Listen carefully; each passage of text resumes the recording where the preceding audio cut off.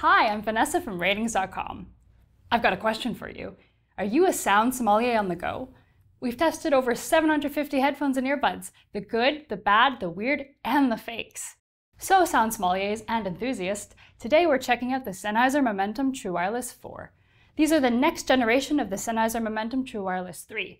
And let me tell you, we've got adaptive noise cancelling. We've got so many aptX codecs. We've even got Auracast, which has nothing to do with palm readers or psychics, as it turns out. So stay tuned to see how these feature pack buds stack up.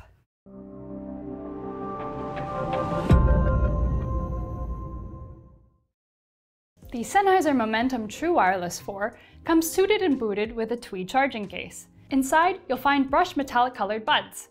They look a lot like the previous generation's model in slightly different color tones, so there's nothing new here. You've got your pick of tweeds. Ours is black graphite, but there's also black copper and white silver for those of you who have never gotten ketchup on a white shirt. Let's take a moment to behold these premium brushed beauties. Alright, I know what you're thinking. No, you don't have to be overly gentle with these earbuds. They have an IP54 rating to protect them from dust and water splashes. They're sturdy too, so if you drop them, you'll be fine. Speaking of dropping, they won't fall out of your ears. Headbanging, Zumba, planking, do people still plank? They'll stay put. These chunky buds fit better than you might expect from their square shape. Thanks to their three sets of stabilizer wings and four pairs of ear tips, they're very stable to wear at the gym or on the go. If you're at a desk or on a flight, you can remove the stabilizers for a slightly more relaxed in-ear fit too. If you've ever worn in-ear monitors, you'll recognize the deep fit of the Momentum Wireless 4.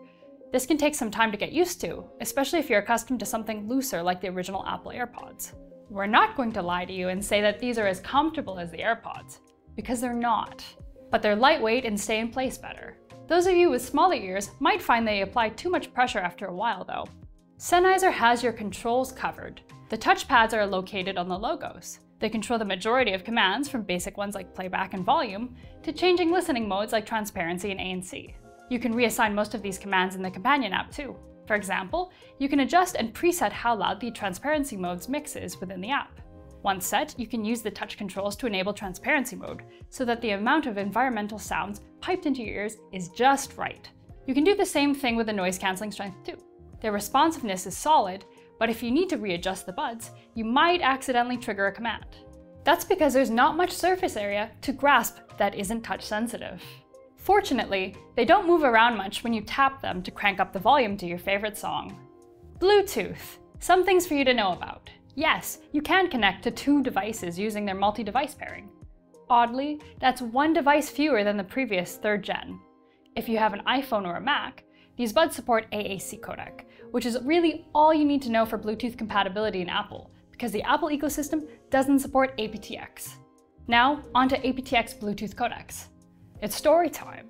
The Momentum True Wireless 4 support so many aptX codecs. They've got your standard garden variety aptX and aptX HD, both great choices for music. There's also aptX Adaptive. You can choose your priorities like low latency or high quality when you select the codec in the Sennheiser Smart Control app. If you want to watch your favorite reality show where people yell at each other and want to have the dialogue sync up, aptX Adaptive Low Latency gets you the closest to in sync. While the latency is much lower using this codec compared to the others, you might still notice it a little bit. Latency is only a problem for video though, so if you exclusively listen to music and podcasts, don't worry about it. Just choose one of the high quality codecs like aptX HD or aptX Adaptive High Quality. No need to overthink it. That's our job. The Momentum True Wireless 4 sound pretty neutral, with a warm top end. They're not too different sounding from the last generation, the Momentum True Wireless 3. As is, kick drums give a good amount of boom without intense rumble.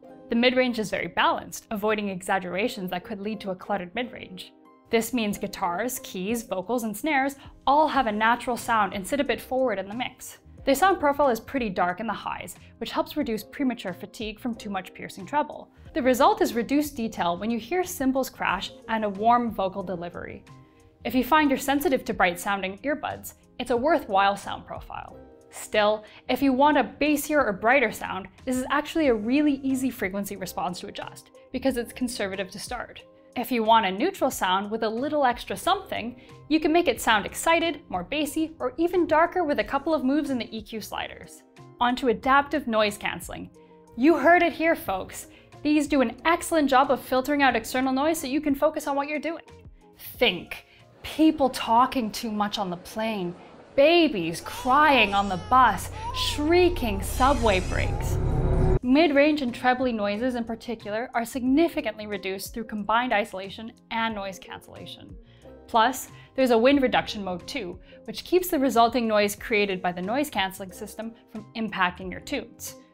The ANC reduces lower pitched noise too, like rumbling engines and nearby construction, but not quite as effectively.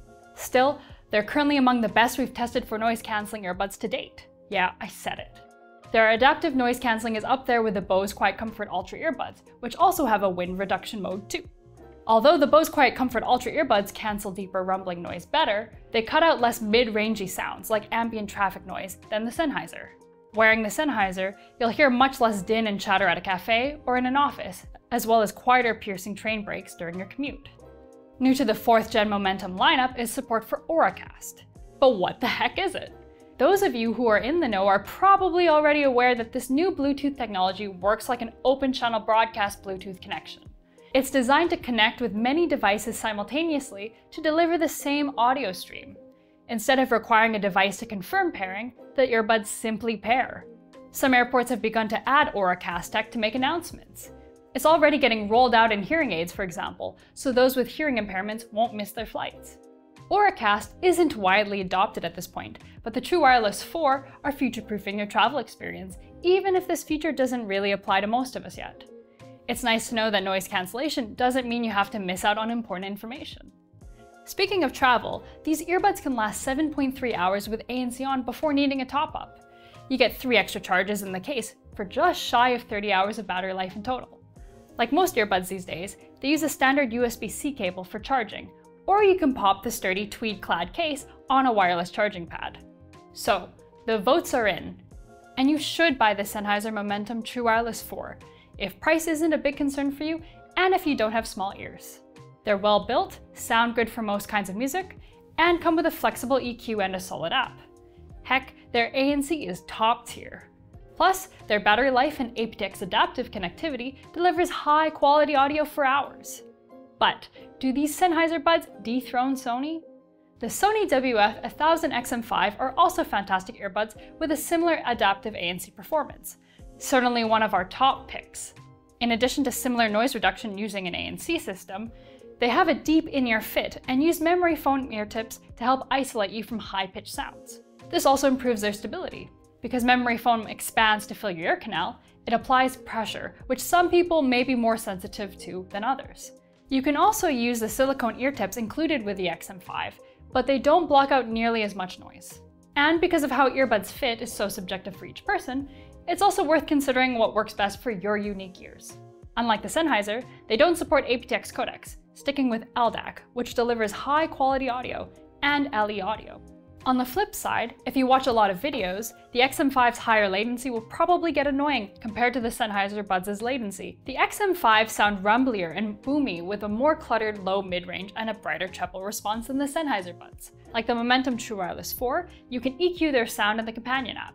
If surround sound is essential, out of the two, only the Sony WF-1000 XM5 supports Sony 360 Reality Audio. It's in the name. So you'll need a subscription to compatible service like Tidal to use it though.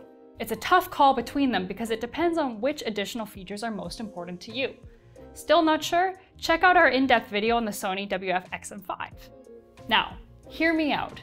What if you spent less? What if you got the previous generation Sennheiser Momentum True Wireless 3 instead?